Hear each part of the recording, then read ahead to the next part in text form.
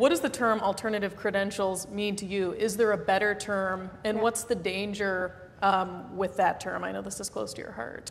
It is. Um, equity issues definitely are. I think, um, not to hijack the, the panel or the title of the panel, but that we get into a tricky place um, in putting alternative next to credentials. Um, as I mentioned before, going sort of in earnest after this question of what do we need to be ready? Um, the first thing to name and own is that it's more than credentials. There's some kind of combination of competencies and credentials and also connections um, that get us ready. And so if we pull back from credentials as um, sort of this mobility marker, we have to also recognize that there are other things that come up alongside of it. So one of the things that I um, get concerned about when we talk about sub-degrees or alternative credentials is that the power and possibility of smaller forms, newer forms of credentials that are better aligned to workforce needs or where we're headed in the future is that they're nimble and that people truly can be equipped. Um, and they could, in fact, I believe truly, close some persistent inequities. And they also could perpetuate those inequities if they're not um, connected to quality assurances, if they're not connected to employer buy in and the right kinds of validation, um, if credibility and connections don't come with them. So we can take a poor person in an under mobilized community where there are too few opportunities for economic advancement and make that person co- more competent or give that person an alternative credential and not actually promise the person the kind of economic mobility that he thinks he's getting.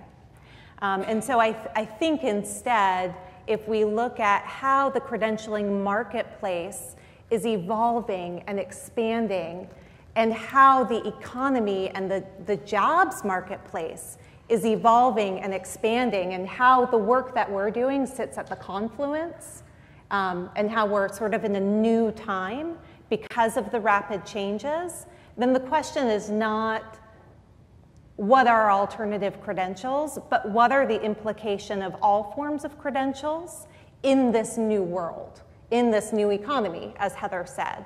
Um, both the emergent ones and the traditional ones, and the ones that we don't even know are going to be created.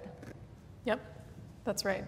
Um, and that's one of the things uh, that Stephanie mentioned that we're very conscious of in the, connect, the Connecting Credentials project, and that Lumina Foundation is very conscious of this danger that you could unintentionally create a second a system. Second tier system. Right? Um, so, Jeremiah, you had an interesting perspective on sort of the history. For me, I, I feel like it's uh, more or less um, unintentional sort of classism um, that we sort of unnecessarily present to students in you know middle school in most circumstances, certainly in high school, where um, we present this, you know, you have to get a four-year degree. That's the only way that you're going to get your foot in the door. That's the only way that you're going to make it in life.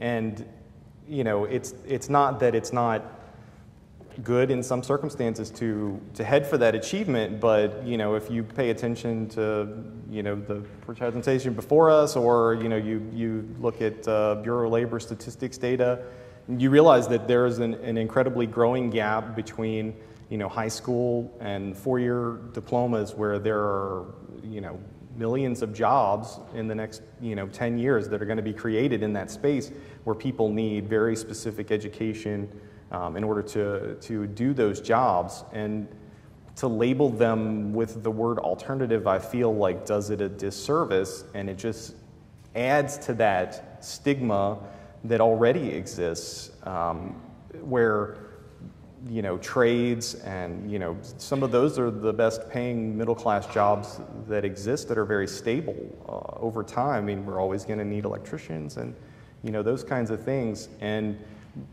by intentionally saying, you know, hey, you need this four-year degree, you're, you're saying, oh, this is some, you know, cloud, and that you're doing a great disservice to these other, you know, there's other, all these other nomenclatures. There's micro-credential, there's um, um, nano degree. I mean, why does it have to be so diminutive? You know, what is the, I mean, sure, there, there are subsets of other things, but, you know, it's like, couldn't we say something positive? You know, if you, if you look at the Bureau of Labor Statistics data, they use this term post-secondary non-degree award. And I think, for me personally, if you just took the word non-degree out of that, you would probably be getting closer to something that I think is more reasonable. Like, you know, it's post-secondary and it's an award. Okay now we've got something that everybody can start to feel good about. You know, why can't we add positive words to it? We have to be like micro, nano, pico, something. Um, you know, anyway, that's just my personal feeling on it. Mm -hmm.